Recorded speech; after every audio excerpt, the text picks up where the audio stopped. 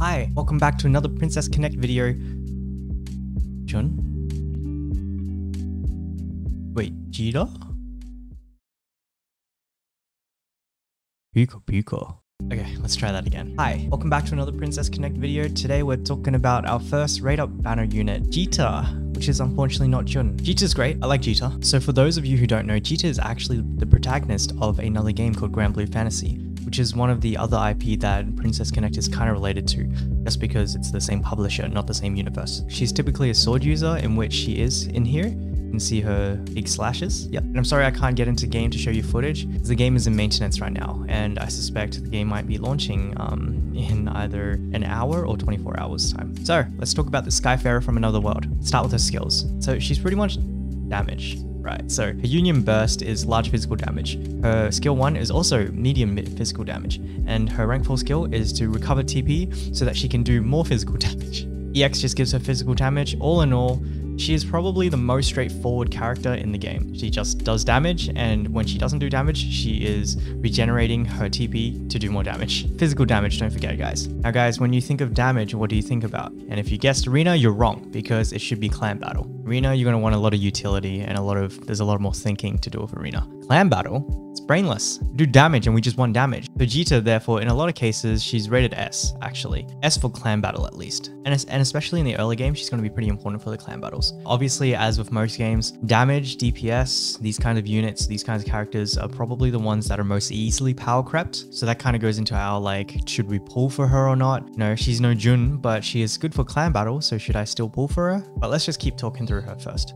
So again, actually that's pretty much it. She pretty much just does a lot of damage. Let's put it that way. She's a big physical damage dealer. In terms of her range, she's actually one of the ones that are furthest back for the front liners. So that typically means that she's pretty safe. Obviously that depends on your formation. She might get pushed to position three because you have two tanks, for example. Let's have a quick look at her action pattern. So she's skill one into skill two. So that's just straight damage straight into the TP boost. Pretty good, pretty good initial action. There's not really any opportunity for her skills to be wasted. However, when we get to the loop, attack, attack, skill one, attack, skill two. Um, yeah, you guys know how I feel about stuff like this. Skills are less than 50% of it. I mean, granted, she is attacking more times than she is recovering the TP, but that TP is an enabler for her UB. So with that being said, she still does a shitload of damage. Like, oh my god. I don't think you should worry too much about this action pattern. As always, learn their action patterns so that you don't accidentally cancel the skills. Now with all of that in mind and a unique position of its launch, do I want to reroll for Djeeta? And there are a few different answers for this. So you're actually able to farm her shards, but later on, maybe I think it's world 13, if I remember correctly. So your Djeeta is going to have to stay at 3 star for a while, and that kind of impacts your decision as to whether you want to pull for her or not. Now let's talk about whether we should pull for her or not, or if she's a reroll target, or if you could even, you know, restart the game for her she's your waifu,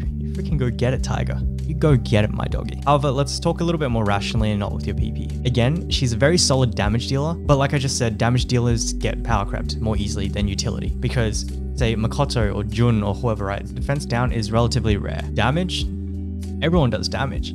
so that kind of makes me think that you shouldn't pull for it. If you're re-rolling for her, I would say that she's actually quite a good target to re-roll. So this is only if you're starting out the game now. And the reason is again because she isn't farmable from shards right now, like from world 13 or whichever one it is. So she's actually going to be the hardest to get, uh, similar to Makoto. If it's if it's between Djeeta or Makoto, I would still go Makoto to be honest. Again, remember the utility from Makoto's defense down just it, it, it's way more future proof than just damage. So to summarize, free to play players, reroll for Makoto and not Djeeta, sadly. And free to play and kind of like the low spenders or monthly spenders is kind of the same. There's just not enough value in Djeeta to justify pulling for her. I don't think anyone should be pulling for her unless you're like a whale or you really like her. I like her, but like I gotta save for like Summer Kyaru and like Muimi and oh, I'm gonna be saving for three years. And by now you should know you should not be restarting for her. I know this makes a lot of what I've talked about in my earlier videos kind of null and void, but especially with all the talk about like rerolling for Jun and stuff, it's not worth it to reroll for Djeeta. It's not worth it to restart for Djeeta. It's not worth it to roll for Djeeta either. I say this banner is unfortunately a hard pass, and the last point of summary is reroll for Makoto. She is solid, she's very good, and she is cute, but she's not critical. I don't want to repeat myself again, but the main reason again is she's damaged, she can be easily power crept, she doesn't have the utility, and therefore she is not a priority. And so with that being said, the secret message today is Djeeta,